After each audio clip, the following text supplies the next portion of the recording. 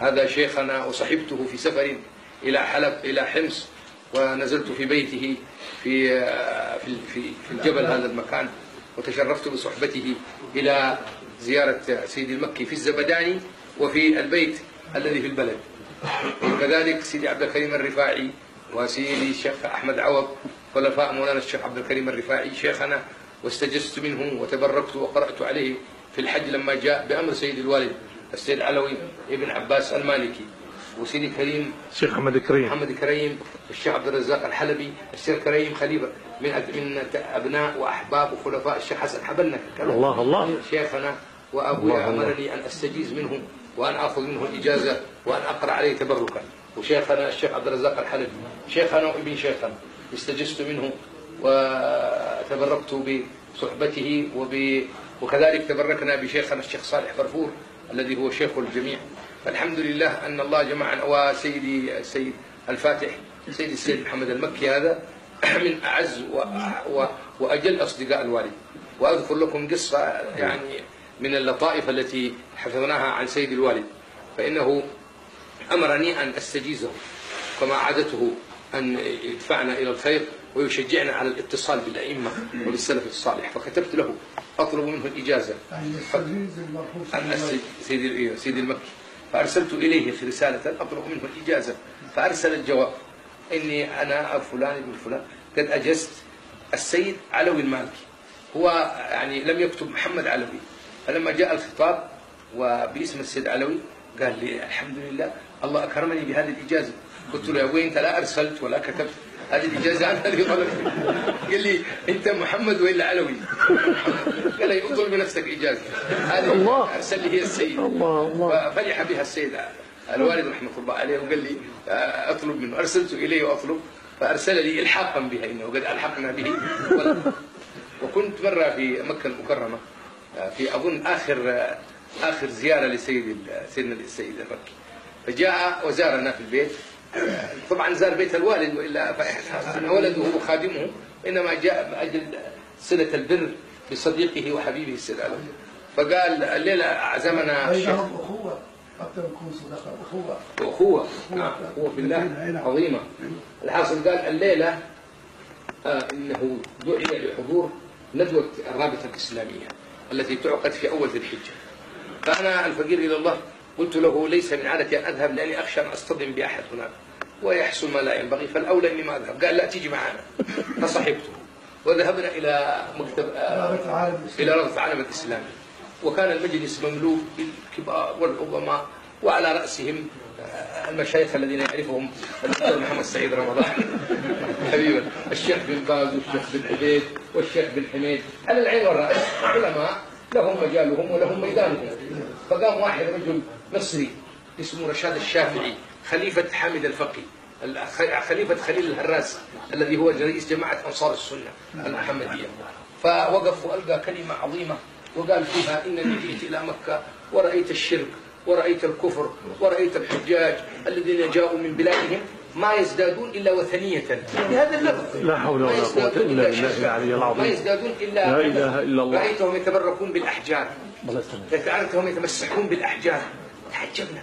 ولا أحد تكلم في الرد عليه. فاستأذنت من سيدي المكي. قلت له يا سيدي قال لي لهذا جئت بك.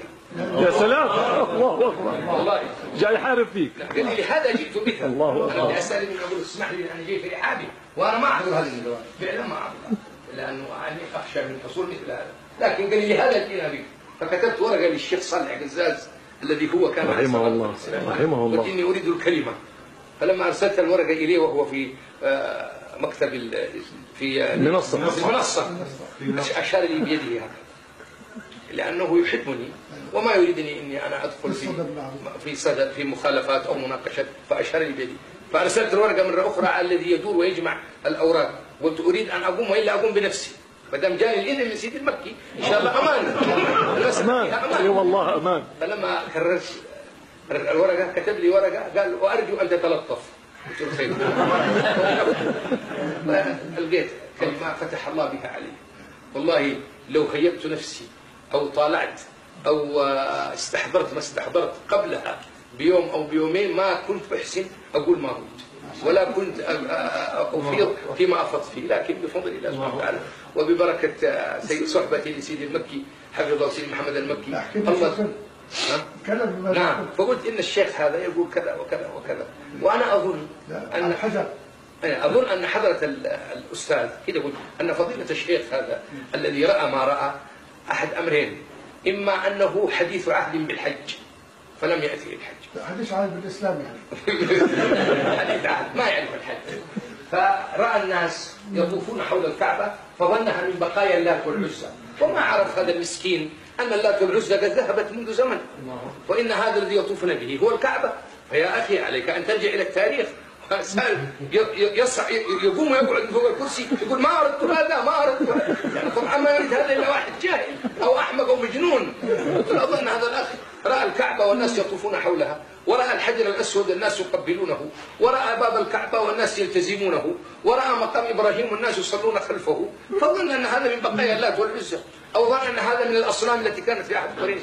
يا أخي اتق الله يا أخي راقب الله. و- و- وأخذت أباشر في الكلام عليه وفي أن هذا ما ينبغي وأن هذه الكعبة والله تعالى أسعفني بأحاديث كثيرة في ذاك الوقت فيها إن النبي كيف لما جاء ودخل مكة والتزم البيت وكيف ماذا قال عمر ولما استلم الحجر وكل هذا وهو يصيح ويقول ما أردت هذا ما أردت هذا. بعد ذلك هو نسيت أن أقول لكم أنه في الكلمة قال وإن هؤلاء وإن, وإن بعض الناس يظن أن النبي صلى الله عليه وسلم حي ويروي حديثا باطلا موضوعا حياتي خير لكم ومماتي خير لكم تحدثونه ويحدث لكم تعرض أعمالكم عليه فإن وجدت خيرا حمدت الله وإن وجدت شرا استغفرت الله له وهو لم يروي بهذا اللفظ. وبفضل الله كان يعني عندي شيء من الاستحضار للجواب فقلت هذا الذي رواه أولا رواه غلط. النبي قال حياتي خير لكم تحدثون ويحدث لكم ومماتي خير لكم تعرض أعمالكم عليه فهذا الحديث مؤيد بأحاديث كثيرة منها ما جاء في الحديث أن الله إذا أراد بأمة خيرا قبض نبيها ومنها أحاديث عرض الأعمال وقد ألف فيه رسالة الشيخ الغماري نهاية الأمان في تصحيح حديث عرض الأعمال. ومنها ومنها والحمد لله الله سبحانه وتعالى ببركة هذا السيد. بعد ذلك قال لي سيدي محمد المكي لو لم تقم لنزل علينا عذاب من السماء. الله أكبر. الله قال لي لو لم تقم يا محمد لنزل علينا عذاب من السماء لأننا كلنا نأثم بالسكوت على هذا الجاهل الذي دنس الحرم واتهم الحجاج كلهم بالشرك وأنهم يعبدون الأوثان ولا يزدادون إلا وثنيا هذا من بركات وكرامات سيدي محمد المكي أرويها لكم كما أوقعت. ونحن الحمد لله الآن في رحابهم. وفي جماعة الإجازات من كل المشايخ. ونحن الآن نطلب أن تجيزنا جميعا كما أجازوك على الوضع الذي أجازوك به. ما في إن شاء الله تكتبوا الإجازات وإجازوكم المشايخ الكبار. تفضل. بشرط أن كل واحد منكم يجيزنا. كان سيدي الشيخ محمد سعيد رمضان يجيزنا عن والده وعمن اللي عنده يجيزنا عن سيدي محمد المكي. والشيخ هشام يجيزنا عن سيدي سعيد. وسيدي الشيخ آه، عبد الرزاق هو قد أجازني الشيخ عبد الرزاق. يجيزني أيضا عن شيخه ومشايخه الذين أدركهم. والشيخ كريم وسيدي الشيخ عبد الرحمن الشابوري الذين تبرع الذي تبركت به تبركنا به في هذه الزيارة. وسيدنا الشيخ أبو الحسن الكلفي والشيخ محمد الزعبي وهؤلاء الذين ذكرنا وبعضهم ما ذكرنا هؤلاء كلهم عنده الحمد لله عنده أهلية للإجازة يجيز كلهم عندهم أنا أهلية. أنا أطلب منك بأنك بسبب أنك عندك أهليات. ف- طاعة لأمركم. وطاعة الأمر خير من سلوك الأدب عند بعض أهل العلم. فإنني أقول أجزت من أراد الإجازة كما أجازني بذلك في جميع المرويات. والأسانيد كما أجازنا بذلك مشايخنا وعلى رأسهم سيد الوالد علوي بن عباس المالكي والشيخ حسن مشاط والشيخ محمد العربي الدباني والشيخ يحيى أمان والشيخ محمد نور سيف والسيد محمد أمين الكتبي وغيرهم من علماء العالم الإسلامي في الشام واليمن والمغرب وحضرموت وأندونيسيا وتركيا وغيرها من البلاد الحمد لله. وفي ذلك كتب مؤلفة في الأسانيد. نسأل الله سبحانه وتعالى أن ينفعنا وإياكم بالعلم النافع وأن يجعل هذه الإجازة. ونرجو أن نتكاتف. بالأيدي وأن الناجي منها يأتي بيده إن شاء الله. لا يا الله. بسم الله الرحمن الرحيم. يا الله يا كريم. والعصر. والعصر بسم الله بسم الله الرحمن الرحيم.